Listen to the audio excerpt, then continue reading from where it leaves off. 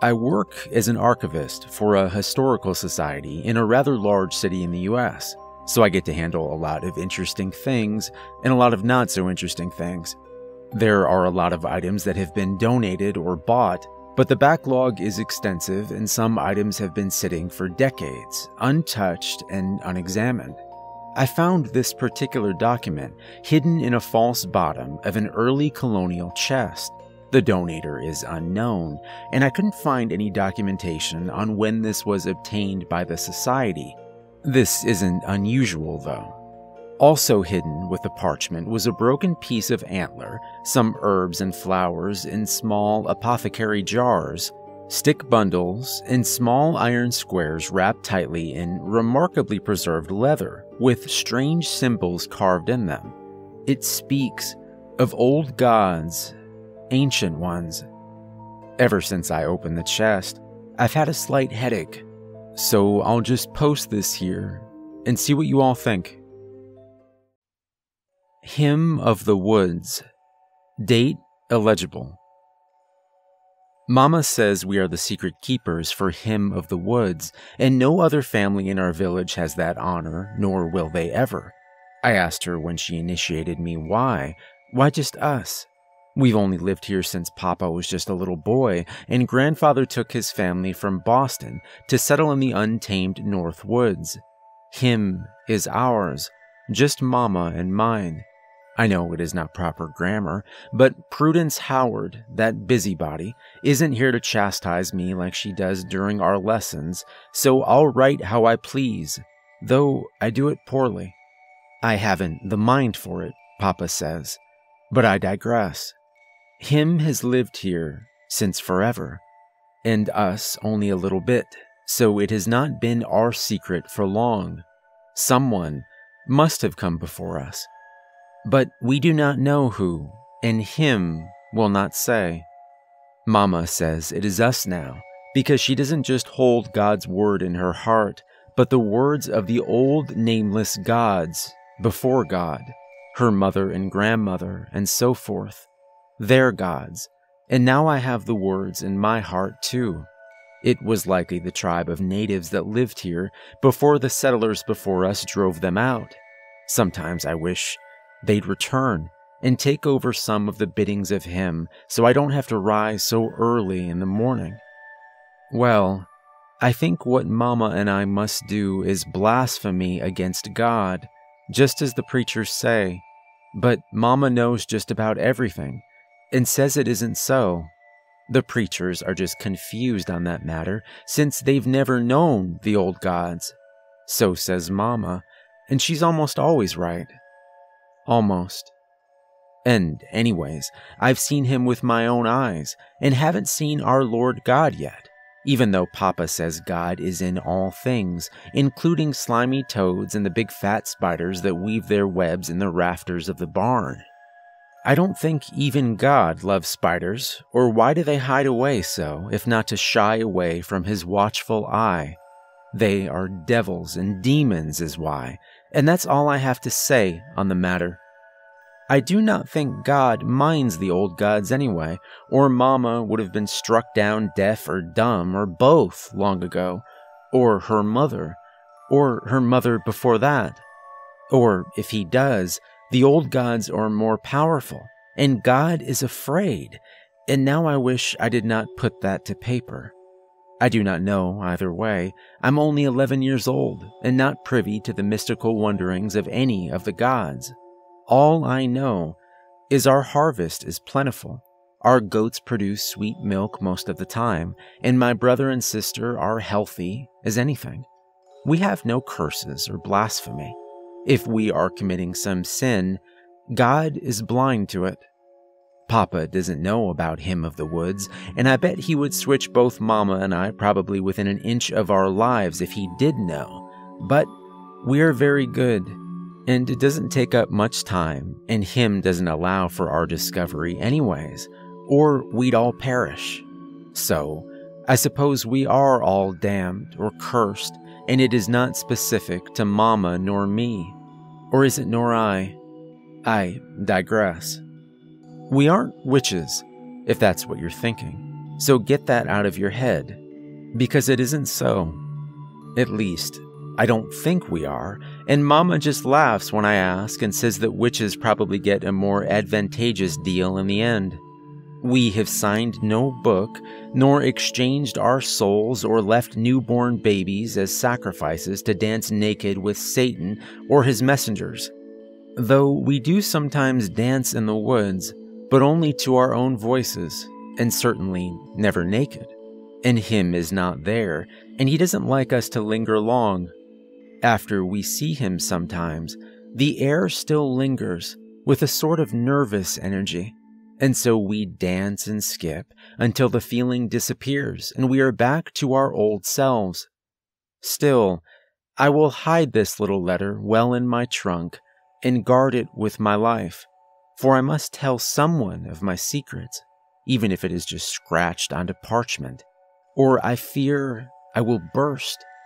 Perhaps I will write more letters to no one if I should have need of it. But for now, I will hide this carefully, for our lives depend on it, and I do know it to be foolish. Mama says her prayers in grace most beautifully and does believe in God's word with all her heart, just except the bit about no other gods before him as God has not punished us yet for wickedness, and we have seen what him is capable of. He is not demon nor devil, though he would be mistaken for one quite easily. One time, Mama was too ill to take out him's offering, and I was too young and hadn't been told of our arrangements. She was gone for most of the day, and worried Papa until he came upon her half crawling from the woods with a broken antler in her back and covered in welts, saying a stag came at her out of nowhere but was spooked away by the guard dog. Papa, was furious. Not at Mama, though, for he has a special tenderness for her. The next day, all the men in the village went hunting for a stag with a broken antler and found none. But they did bring back a hearty venison feast, and we all ate rather well over the next few weeks. It is a tradition now in March, though I put cotton in my ears so I don't have to hear the stag scream. Mama says, It's only in my head, but I hear them all the same. However, Mama says I'm not to worry. Him is always kind to me, even when angry, and not always to Mama. I do not know why. Once I dreamed I had married him, and we lived in the forest as wild things, and I told Mama. She looked more afraid than I had ever saw her, and she slapped me so hard I heard bells for the rest of the day. She came to me later that night when the others were asleep, red eyed and very sorry. I forgave her because she's my mama, though I never shared my dreams with her again. There is another dream that I dare not put into writing for fear that words will make it true. It happens to me sometimes. While others welcome sleep, I dread it. But I digress once more. I must go to bed. We will be up early in the morning for our offering to him under the guise of cleaning linens at the stream. There's always so much to do, and the little ones are crying for bedtime stories, and oh dear, here they come now. I knew I started this recollection for some reason, and it is to tell the story today, not the dribbling of yesterday. It has all gone wrong, and I am to blame. Mama and I went to the woods as the dawn rolled in to our sleepy village, hauling all our dirty linens as usual in Papa's creaky handcart. We dropped the little ones at Goodwife Carpenter's house with day old loaves as payment. She likes the little ones well enough, anyways especially my little sister, with her cherubic face and soft curls, but Goodwife Carpenter is a greedy thing and won't lift a finger unless she has some benefit. We brought him three fresh rabbits from the traps and some fresh berries I picked along the way, though Mama told me not to dawdle so, for the berries were not worth as much effort as I put in gathering them and scolded me for staining my apron with their sticky juices. She forgot we would be doing linen soon, anyways, but she gets terrible nerves before seeing him and is more irritable than grandfather's donkey, who is always crossing and biting at someone, hateful thing. Him does not frighten me, unless angry, but Mama says that may change one day, and I will always be frightened. I hope not. I hope my own daughter will not be frightened when I teach her someday, too. The offering spot is deep in the woods near an old gnarled oak that grows halfway on an old rock. It is a lopsided thing and looks like a giant snake of a tree swallowing that rock, all tangled roots weaving this way and that. Him tells me each root is a story, but I don't know how to hear them yet. I don't think I want to know him stories, though. They are old and not of our world, and I doubt I would understand them anyhow. We left the unskinned rabbits and berries on the stone slab. It is very old and smooth from use, carved into the base of the rock with ancient tools. Once the offering was in place, Mama took out her penknife, rolled up her sleeves, and made a small cut near her elbow where it would be discreet.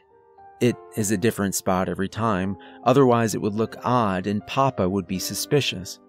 He thinks Mama and I are thumbs for all the barbs and nettles we get scratched on, or so he thinks.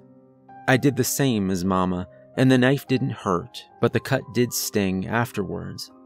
We left our bloody drip together on the offerings, only a few drops are needed to mark it for him.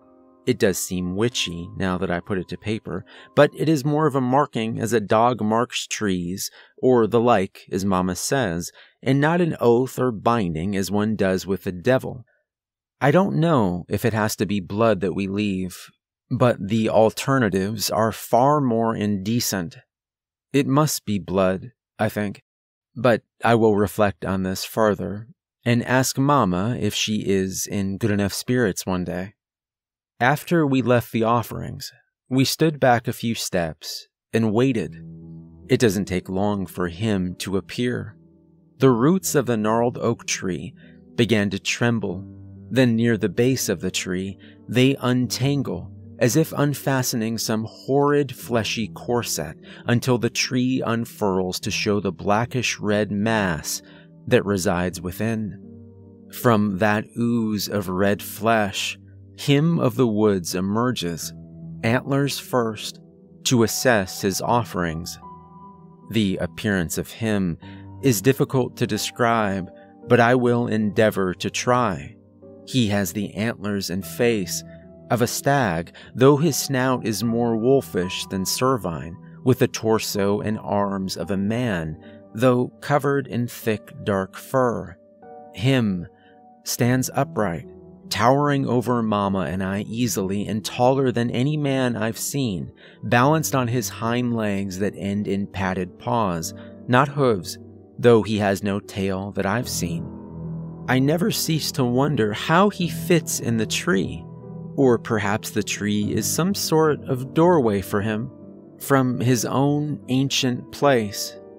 It sounds an awkward creature, but him moves so fluidly like the gentle brook near our village.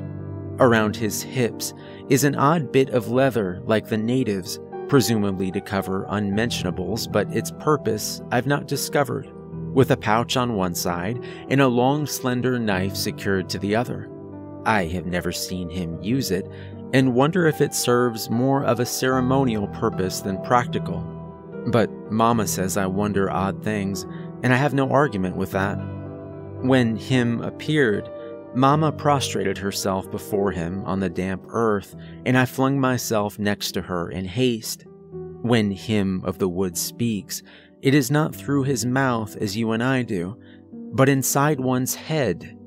He says things to Mama that I cannot hear, and he says things to me that she cannot. Sometimes it is to both of us. Your offering is sufficient. Him told us.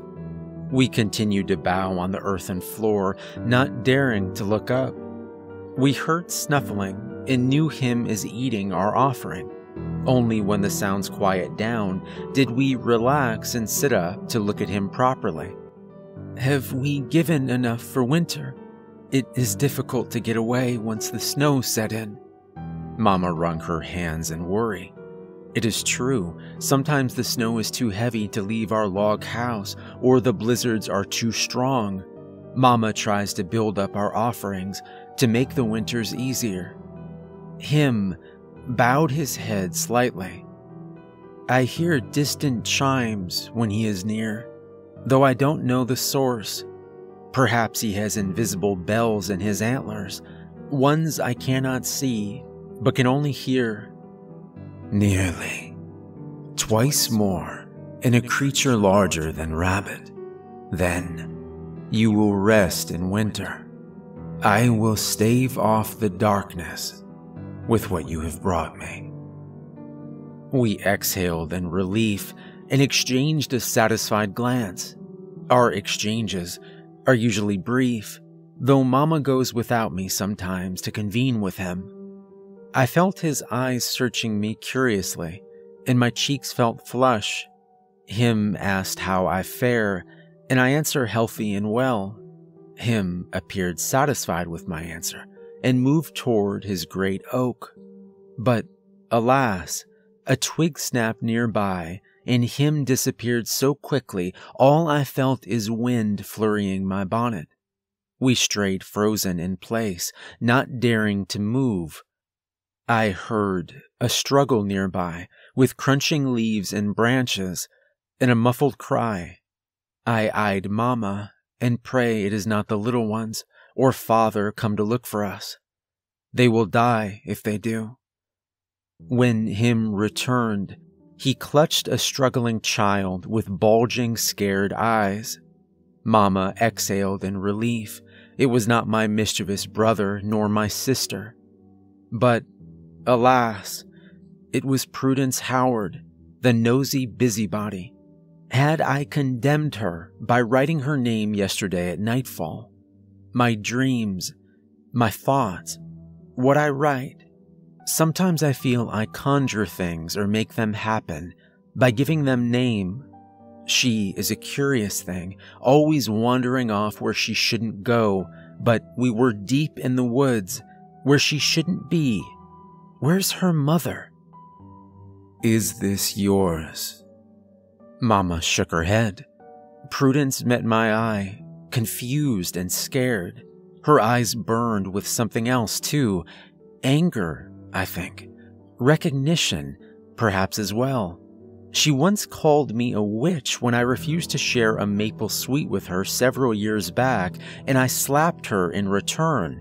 I suppose she thought in those moments that perhaps she was right after all, even if accidentally so.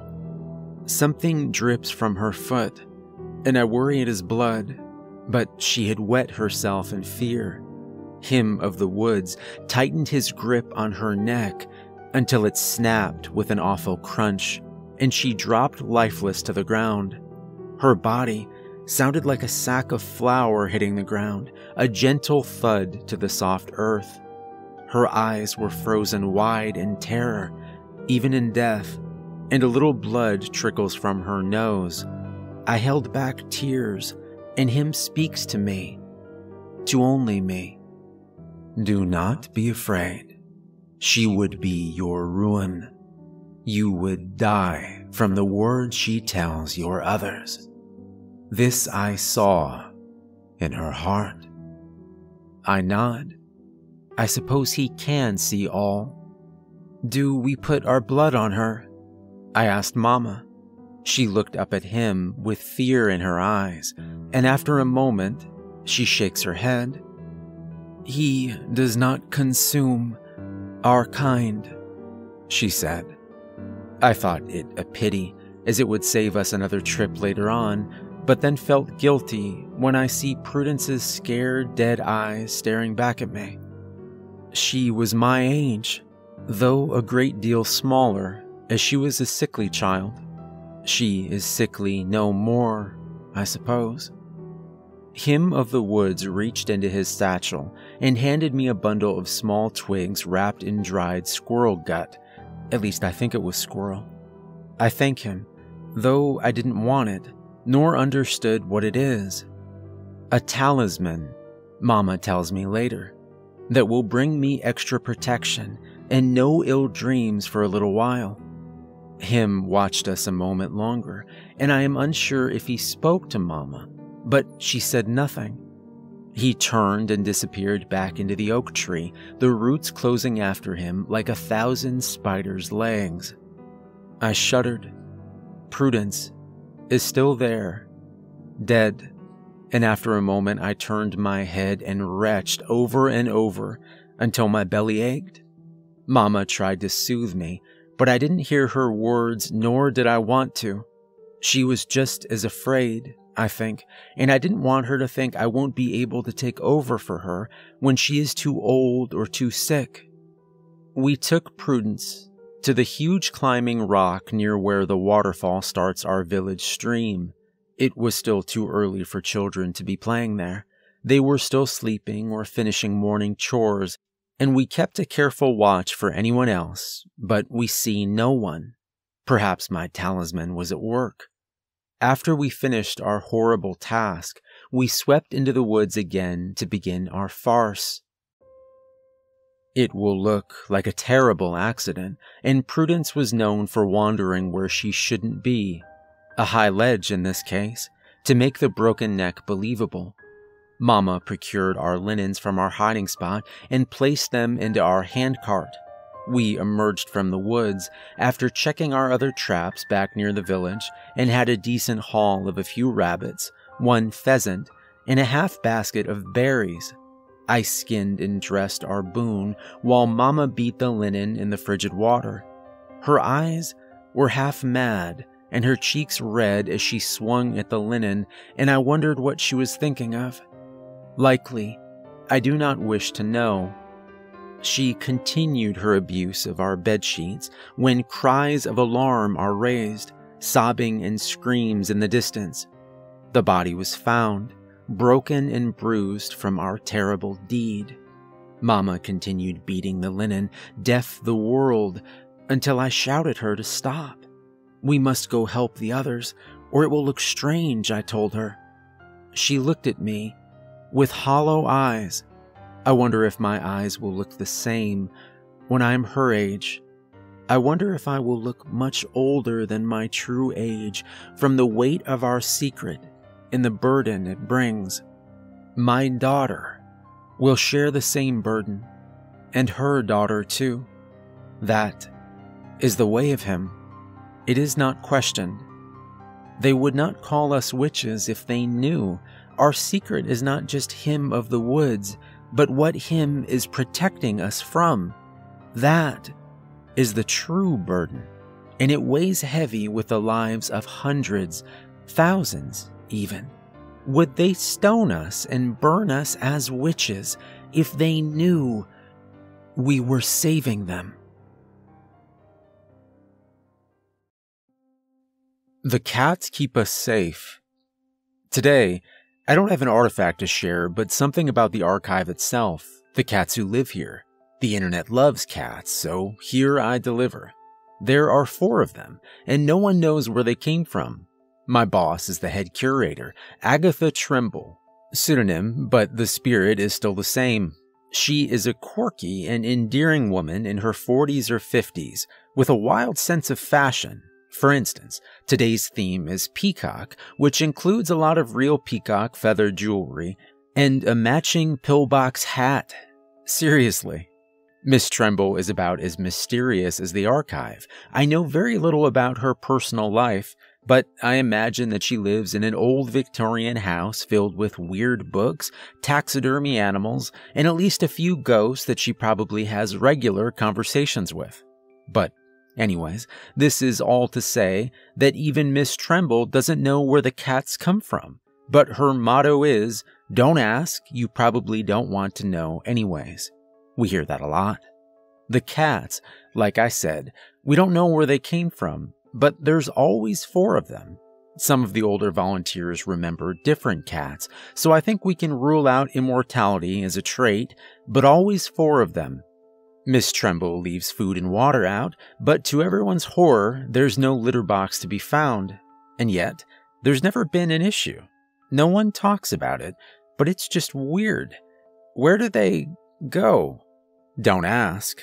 You don't want to know. First, there's Henry VIII, called Henry, or Eight for short. He's a big fat ginger cat, thus so named after the English king, not for any divorced, beheaded, or dead wives, but simply because he's tubby and ginger, and the regality that cats generally seem to have. Henry lords over the reading room and is the only cat that the public sees. He loves being pet, being fed, and generally just hangs around his basket or cozy looking documents, waiting for treats. He's a sweetie. No one usually has the heart to push him off whatever they're trying to read, but he'll move in due time when he feels like it. Good old Henry. He seems useless, but he's great for morale. He's always been known to chase off any member of the public with sticky fingers, sweating coffee cups, or any other offensive thing that might damage documents. That's the only time you'll see him hustle or in a bad mood. Don't damage the goods, and Henry's your best friend. Shere Khan is our little champ. She's a sleek tortoise shell that can be found stalking the halls at night. She doesn't keep to one area, like most of the cats do. We have the museum floor and the reading room, which are both accessible to the public, some small offices and staff areas, and then several levels of archives, accessible only to staff or volunteers with the proper clearance, depending on the archive. She's the only one that's ever seen interacting with the other cats, and even then, it's fairly cordial, almost businesslike. Shere is the little hunter. If you find a dead mouse or the dreaded moss lying in a doorway, it was her. She keeps the riffraff down. We rarely, if ever, have pest troubles. It's an old building, so she's a busy girl. She doesn't like to be touched for the most part, but she's been known to curl around your ankles for a rare pet. When I'm alone in the building, I know she's near, even if I can't see her. It's kind of nice. She has spotted some of our more unusual activity often before we do. Our canary, when needed. There's the white one. No one can remember its name, but we all have a different name for it. No one remembers what color its eyes are, or whether it's a boy or girl, or even how big it is, or where it usually haunts, or where it guards, or, or, or, or. Lastly, there's Bast. Not everyone gets to see her, but since I have a high level clearance into the lower levels, I've seen this shadow cat. Bast is the one that frightens me.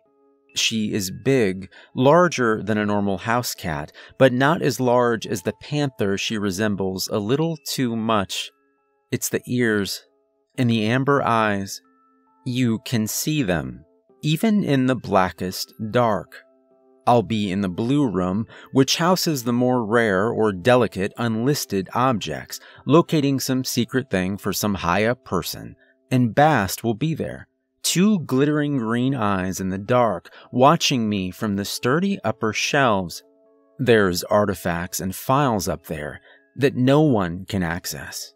Not that anyone wants to, with Bast up there. The other odd thing is, the blue room is always locked. She lives in there, behind a locked door. No food, no water. That I can see, anyway. She guards the red room, too, no one goes into the Red Room. I don't even know why it's called the Red Room, except the door is red. The Blue Room has beautiful blue wallpaper, the old kind you can't find in any hardware store, with a blue door, so I guess we all assume the Red Room is red inside. I don't think Miss Tremble goes in the Red Room, and she's the head of the archive. She's rarely ever afraid of anything, and we've had plenty to be afraid of stories for another time, and she's afraid of the Red Room. There's chains on the door to the Red Room, multiple heavy duty chains. New ones, old ones, ancient ones. Locks, too.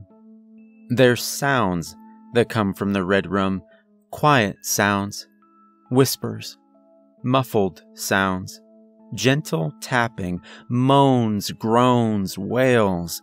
It's worse when there's nothing. Silence. There's a peephole in the red room, not looking into the room, looking out. If you get too close, Bast growls, low, that low rumble of danger makes your belly churn. I've never gotten farther than too close. I heed her warning. Miss Tremble sings the highest praises to the guardian cats. They keep us safe. I don't ask, because I don't want to know the answer. God Save Us, or the Devil. The following are letters that were donated by a couple who found these in the attic of an old house they'd inherited. The curator's notes simply indicate the couple wished to burn them at first, but instead brought them to the archives in case they held some sort of historical value. We've not been able to locate any information about the contents of the letters, except to confirm an unusual amount of disappearances in the town mentioned in the letter, redacted for safety purposes. March 7th, 1872. Dearest Mary, fine fiddle, it is a somber day for a somber occasion. We laid grandfather's weary bones to rest yesterday and today we are all in foul moods.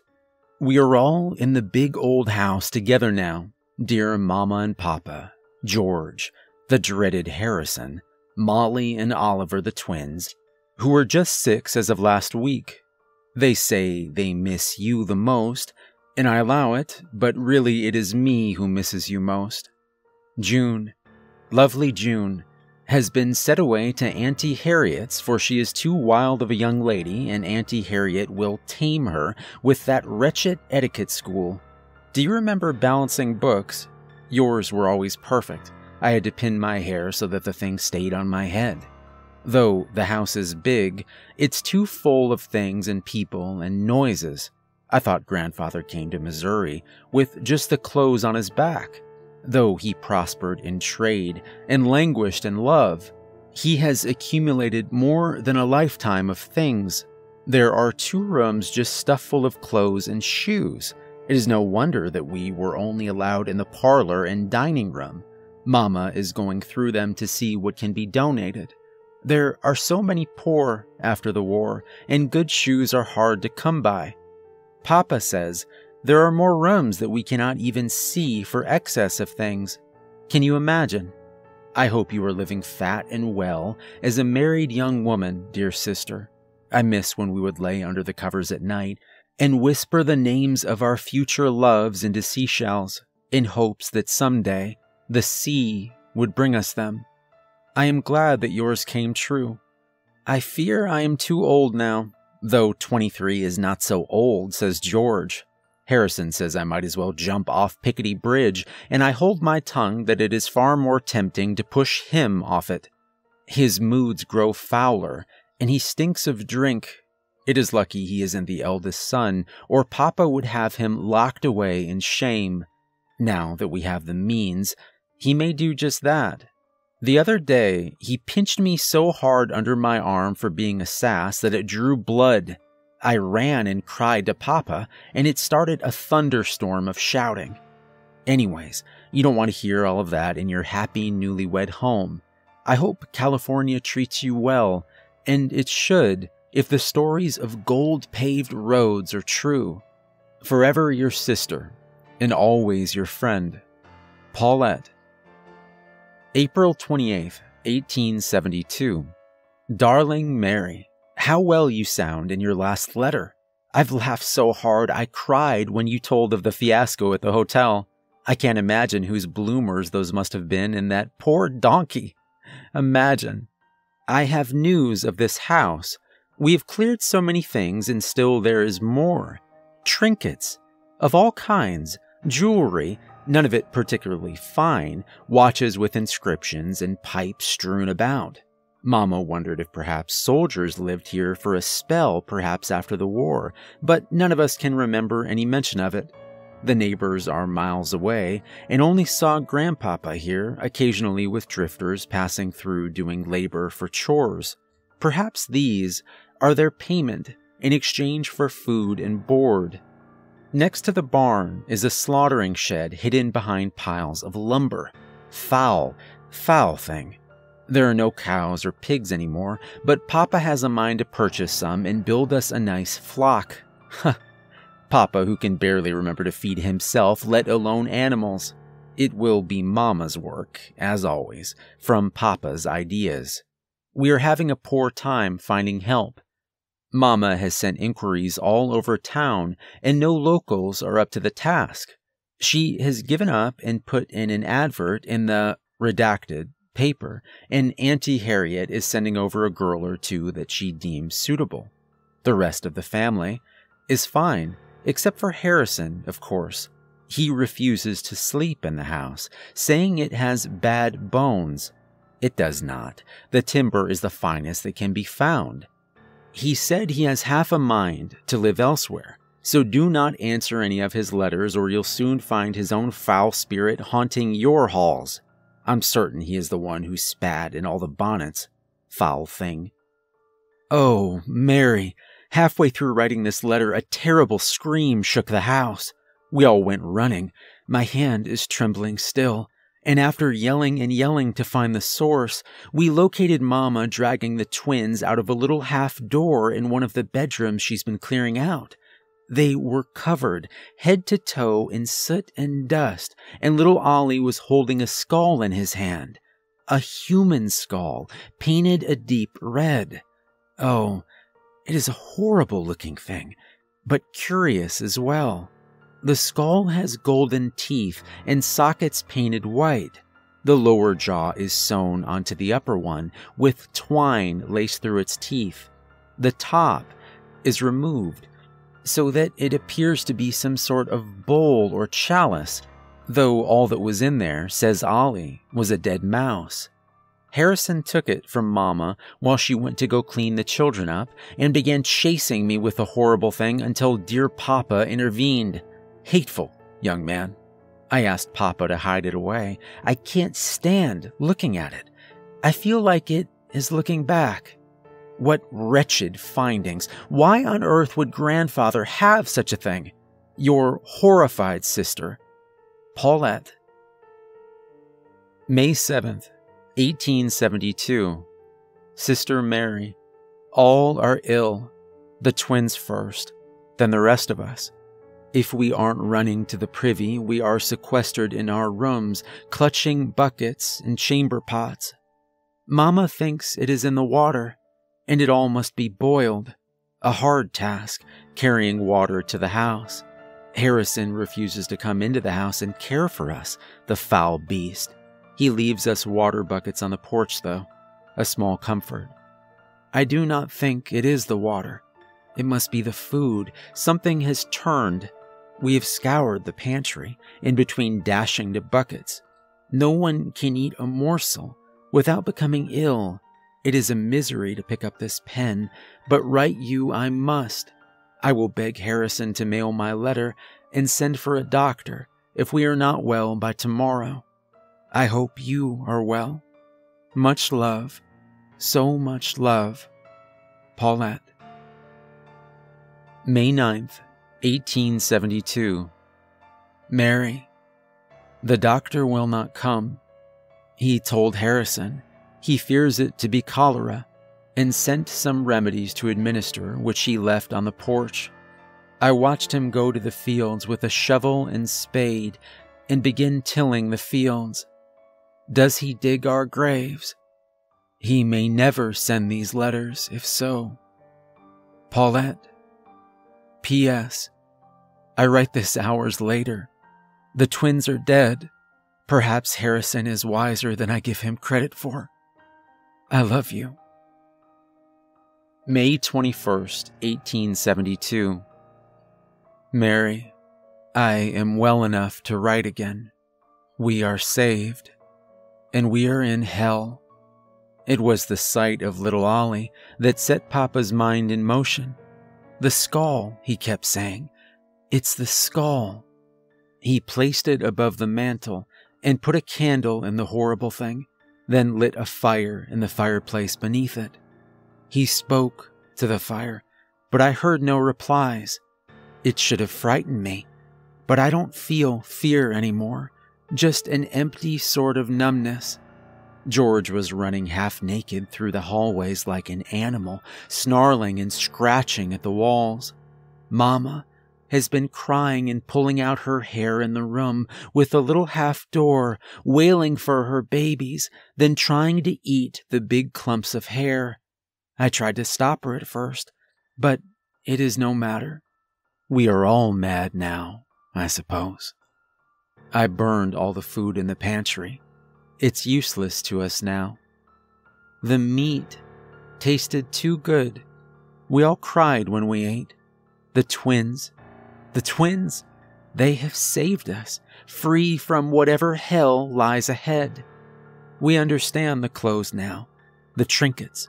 Harrison figured it out too when he dug up the graveyard out back. Hundreds of bones. So many. The deep knife gouges on the bones. I wonder if grandfather took them to the slaughtering shed or did it in the kitchen. Why does flesh taste so sweet and good? It is my succor now. God save us. Or the devil. It makes no difference to me now. We need more. If we do not feed, then we will turn on one another. Papa and George are going at it now, trying to decide what happens next. George wants to die. Papa says he will help. Mama has locked herself away on the third floor, and we cannot find the key. Grandfather lived alone. It was the only way. Do not visit. I will not write again. I hope the help comes soon. We will need them. The Cheer Up Johnnies. Work has been crazy, but here's a little ditty for you. The Cheer Up Johnnies. In the Blue Room of the Archives, staff only, there is a collection of musical trinkets, one of which is labeled as the Cheer Up Johnnies. It's a ceramic piece that appears to be modeled after a moderately popular barbershop quartet named as the label states in the early 1900s. There are five dapper dandies in the classic barbershop outfit striped vest, slacks, and formal straw hats, all standing on a bandstand. It sounds pretty tame, but the singers have wild, too big eyes and wild, too big smiles on some of them. It's forbidden to touch it without gloves. Personally, I hate looking at the thing. We have many of those, and I swear they switch places sometimes. Their mouths are supposed to be singing or smiling, but they have too many teeth, or their mouths are just black void pits. I've compiled some of the curator notes below. Artifact P145, Curator Harrison, June 1947. Description omitted. Artifact brought in by Redacted due to interagency agreement. Added to musical item list that must remain locked. Gloves are mandatory when handling artifact. Redacted is not original owner of piece but reported locating a few identical boxes from commemorative annual barbershop quartet event that piece was created for. Other boxes do not have similar disturbing facial expressions and appear normal. X-rays and extensive notes by analyst from Redacted provided.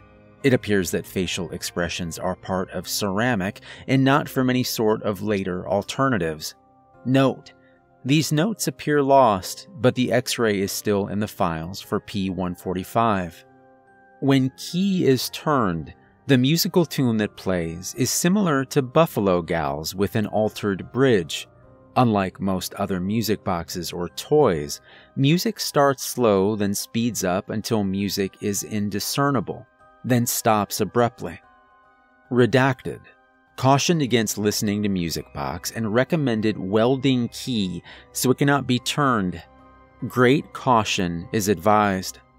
Object will be kept under lock and key with strict orders not to disturb or handle except by curator permission. Curator Harrison, August 1948. P145 has caused some disturbance, so adding some notes to document the events. First observation is P145 attracts those in low spirits or moods. When someone is feeling a bit blue, they hang around the blue room unironically and can get quite unruly when forced away. Redacted had to be taken out by force only days after returning from the birth of her child. When dusting the objects in P145's cabinet over the weekend, staff member bumped P145 into P16, which caused a hairline fracture in the fifth quadrant of P145. Staff member reported feeling extreme melancholy and an urge to listen to P145, and did so despite strict orders not to turn the key. Staff member was still found standing at the cabinet Monday morning, still listening to the music box and laughing hysterically. After forced removal of P145 from their hands, staff member collapsed in exhaustion and was rushed to a local hospital. Staff member had clearly soiled themselves standing at the cabinet over the entire weekend. Blue Room is to be thoroughly cleaned and sanitized. Cabinet was only half dusted, but I will finish it myself. Hairline fracture will be examined and, if possible, fixed. P16 was undamaged by the event, as expected, and looked very proud of itself. Moving P16 to separate case, since it always bloody has it out for other artifacts. Evening. Hairline fracture fixed by restorationalist on staff under my close supervision. Both of us reported feeling extremely giddy during procedure, almost to the point of being unable to complete fix because of an overwhelming desire to sing and dance around the room. Curator Harrison, December 1948. Restorationalist over P145 hairline fracture reports still feeling residual giddiness from time to time. I myself have occasionally locked my office door to dance about and must contain urge to sing from time to time, although it's less frequent now. May need to start putting items on danger scale. Redacted mentioned another agency does this, but might raise too many eyebrows here. Curator Harrison, February 1950. Some depressive numbskull, now fired, took P145 from case into public reading room and played it over and over. Only four members of public and two staff, excluding Numbskull, were in reading room at the time, but by the time I came back from lunch, they were all in there, laughing hysterically and dancing around the tables like a bunch of buffoons. Only Redacted was spared, because I suspect he is mostly deaf, although he did have a ludicrous grin the whole time I was questioning him. I wonder if whatever resides in this artifact is related to that dancing event in 1518. In Alsace, some village or other had an outbreak where residents could not stop dancing. Now diagnosed as mass hysteria, I can't help but think there was some bauble like this involved to ignite the fire scheduling welding of key tonight. I've prolonged it this far to try and preserve artifact, but proves too dangerous.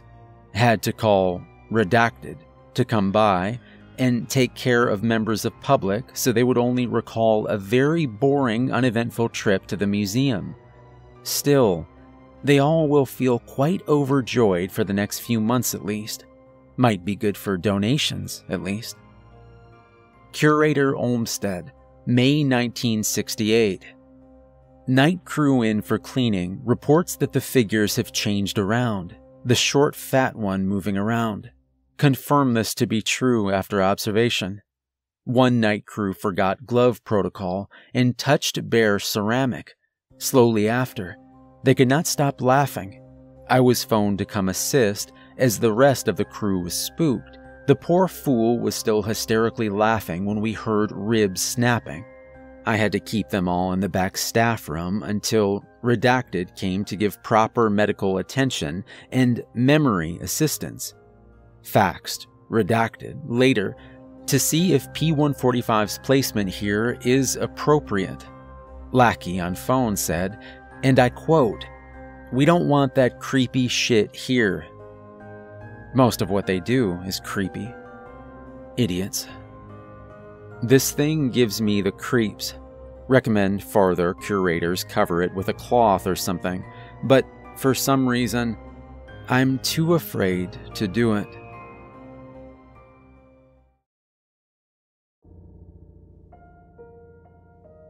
The Sailor's Talisman. There's an artifact in one of the lower levels of the archive rooms. Just for full disclosure, there are many artifact rooms, but all the main ones were built in a sort of basement over a hundred years ago or so and wallpapered in different colors. Each room has a different clearance for staff and volunteers. Volunteers may only go into the green room. Green for go. Green meaning easy. Green means safe. Artifacts from the green room may be examined, but not taken by members of the public. Upon request, of course, and they must know what they are looking for in order to ask to examine it. The Sailor's Talisman is in the Purple Room, accessible only to staff and certain high up people, influential types like authors or big bucks donors. The talisman is a funny little thing, a sort of mermaid looking thing carved from wood, perhaps old driftwood. It's a woman with a fishtail, but it's forked off into four fins at the end, not two like your typical mermaid. Her eyes are perfect circles, and her mouth is open slightly, with long strands of seaweed slithering down her body. The seaweed covers her breast, but in between them, in the sternum area, is a symbol, sort of a cross between an ankh and a sulfur cross, a rounded top cross, like an ankh, sitting on top of a triangle. It's very light to carry, but she is always damp. Not damp, now that I think about it, but water actually seems to leak from the talisman itself. She is kept in a specially built box in a shallow pool of water. She used to be kept next to a dehumidifier until the power went out once. The purple room had about an inch of water in it before someone discovered it. Someone, me, had to sit outside in the garden with her until the electrician came to fix the power. The roses looked fantastic that year, though. We discovered, purely by accident, that if she is kept in a small pool of water, the talisman will not seep water. An equilibrium of sorts is met. She has an entry log from the previous curator, and I'll end this little story here with the log. I've skipped over the beginning part that also described her, out of vanity for my own far superior description. My additions are in parenthesis. Artifact P174 Curator Olmsted, April 1967. Artifact donated by Boston Area Historical Society, who wishes to remain anonymous. States that they are unable to house the object anymore due to damage of property, rotting wood, and flooding. They claimed caused by object, called the Sailor's Talisman. Donor describes P174 was thought of as lost for decades, but later found washed up on coast near Maine. Exchanged many hands until donor eventually received it. Origins unknown, but earliest mentions can be found in Things of the Deep by Randall Carter, a collection of legends and myths surrounding ships and seafaring. Note, I've not been able to locate copies of this book yet, not for lack of trying. According to legend, there were numerous of these talismans around on the eastern coast of the United States, traced back as far as the early colonial days, possibly further. Ship captains, according to legend, commissioned their creation by a handful of artisans who had been blessed by some sort of priest. The text is unclear, naming them sea priests, Although I have not been able to corroborate what these priests were, there is no mention of them in historical writings from the coastal towns at the time, and it is unknown from exactly what areas these come from. It is created from driftwood, so the origin is difficult to ascertain. It is fascinating that this is the one surviving talisman. No others have been confirmed. Around the 1920s, the talismans were no longer viewed as protective, but as destructive, since the ships that had them on board met with horrific, sometimes freak accidents, or more often, simply disappeared. I suspect most of the remaining talismans, if they are still even in existence, are at the bottom of various bays along the coast. Some ships confirmed, according to Randall Carter, to have the talisman. Nan's Goodbye, estimated 1785, missing, presumed lost at sea. The Laughing Dutchman, estimated 1801, accident, ran into cliffs during a storm. The Virtuous Maid, estimated 1811, missing, presumed lost at sea. St. George's Fire, estimated 1692, missing, confirmed sighting of wreckage by the Mary's Crown, but when Royal Navy dispatched to investigate, wreckage was not found. Fighting Sea Dog, date unknown. Accident, fire while docked in Caribbean. All crew on board, presumed dead. Etc., etc., etc. The symbol is odd though. I've been unable to locate an origin, perhaps the artisan's symbol, or a guild long lost to time. Sometimes a sound seems to emit from P 174 when submerged in water, a haunting sound, almost like a strange song, more like a wail, but faintly melodic. Seemed to put my assistant in a trance, and he began to leave the room with the talisman before Esther, his wife and assistant curator at the time, threw a book at his head I do not recall these events, though Esther says I was present. Recommend item for the purple room due to issue with flooding and legend of cursed nature, as well as potential hypnotic side effect. When handling, minimum of two staff needed, one female preferably. Do not allow near watercraft of any kind, as a precaution, of course. Entry ends here. I haven't heard the singing mentioned in the entry, although the male staff have mentioned being unnerved by it when they come into the purple room. As a precaution, only female staff are allowed in the purple room alone.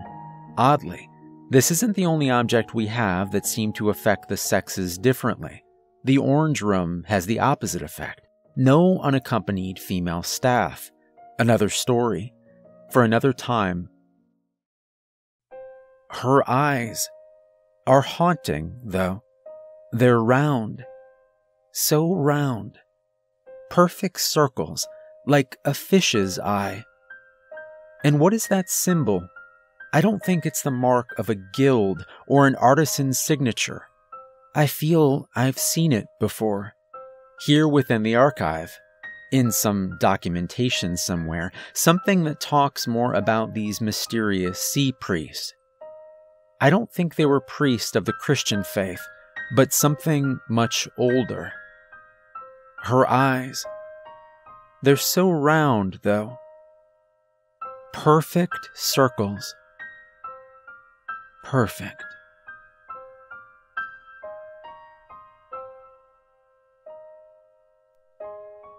Hey everyone, remember to like and subscribe if you enjoyed today's video. I've been very fortunate to find some really well written longer stories recently, and I'm going to continue posting a longer story every Sunday. If you'd like to support me further, there's a link to my Patreon in the description, and I hope you have a wonderful beginning to 2021. Thanks for listening.